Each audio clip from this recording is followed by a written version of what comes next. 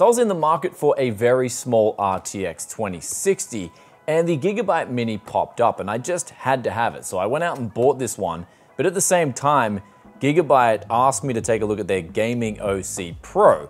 So I thought, why not get both these cards here and test it against the RTX 2060 Founders, which I've already done a review on if you want to check it out up here, where it performed really well. The cooler that NVIDIA's implemented here did a great job of overclocking whilst also staying quiet and keeping the temperatures down. But today we're going to be taking these two graphics cards, overclocking them, testing out the stock performance, the power consumptions, the acoustics, the thermals, basically the whole Tech Yes tour. And I'm actually rooting for the little guy here, the little mini. He's almost half the size of this guy here, the Gaming OC Pro. And so we've got the big guy and then we've got the super big guy versus the little guy. So let us know in the comments, guys, who are you rooting for? And if you're not rooting for any of these three graphics cards, let me know what are you rooting for. And with that aside, let's unbox these things and get you guys some gaming performance figures.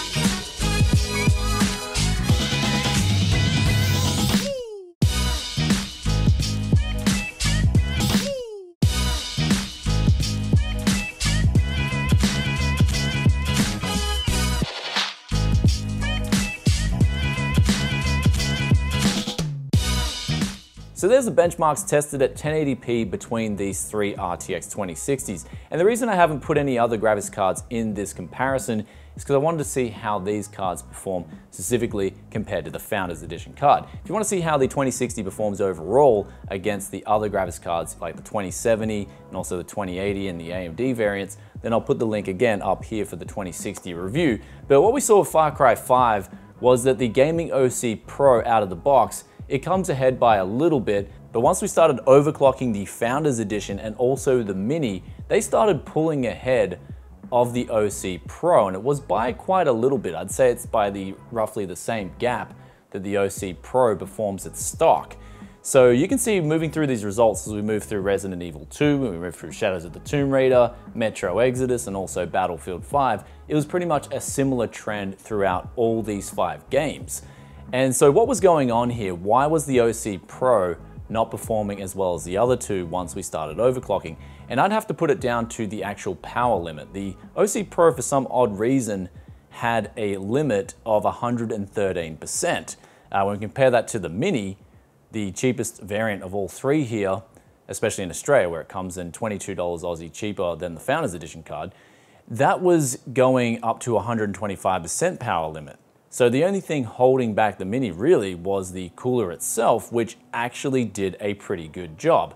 And we'll show you guys the results here. The Gigabyte solution actually surprised me here. I thought it would crumble, especially when overclocked. And usually when I do these temps, thermals, and acoustics, I usually just do them with overclocked levels because they represent a worst case scenario. Here we had a ambient temperature of 25 degrees Celsius, so it is a little bit hot, especially when you compare it to some people who live in sub 20 degree temperatures. But what we got here at 100% fan speeds was 59 decibels. Honestly, this was getting very loud. It still kept it at 64 degrees C.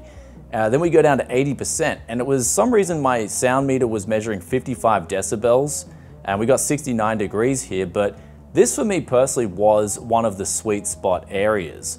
Uh, even though it was a 55 decibel noise level, it was actually bearable. I don't know what it was. Maybe if someone studied sound acoustics, they can weigh in here as to why this thing was actually quite loud, but it wasn't annoying at all.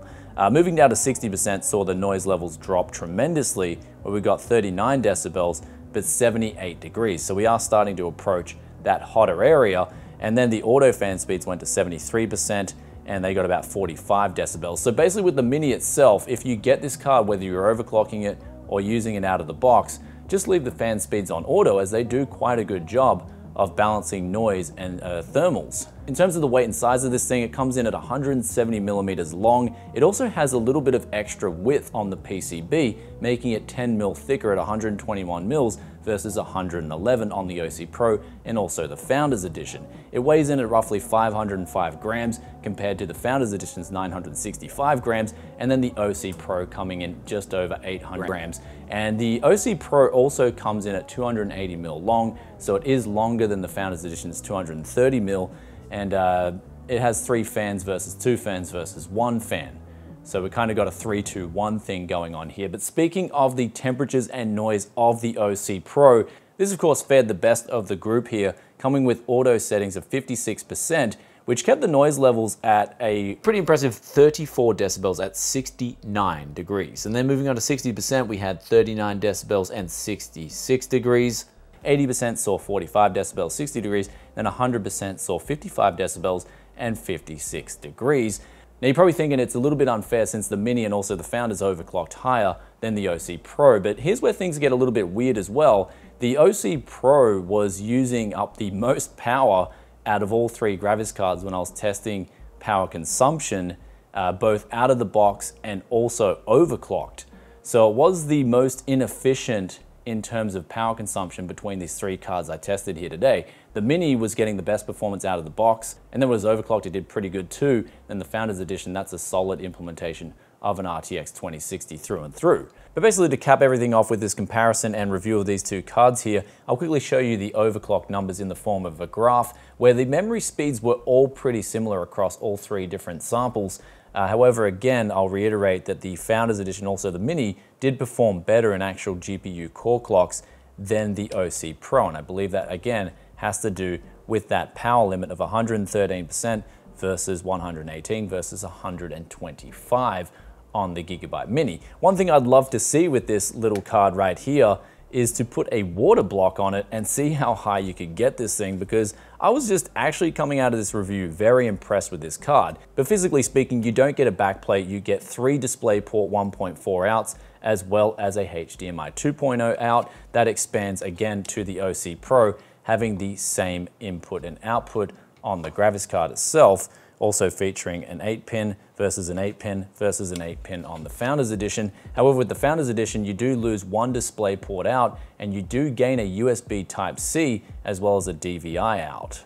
The OC Pro, just like the Founders Edition, however, does feature a backplate and does have some RGB lighting on the side, which you can control via software. Anyway guys, to cap things all off with this review of these three cards is the price. In the US, you can get the Founders Edition for 350 and you can also get the Mini for 350.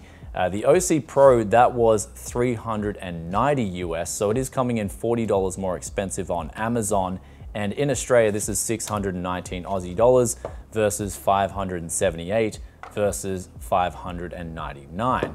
So the Mini is the cheapest in Australia, and in my opinion, it is gonna serve people who wanna build a Mini ITX rig very well. Now keep in mind the thermals you did see here today are going to be affected if you are using a mini ITX case with not so good airflow.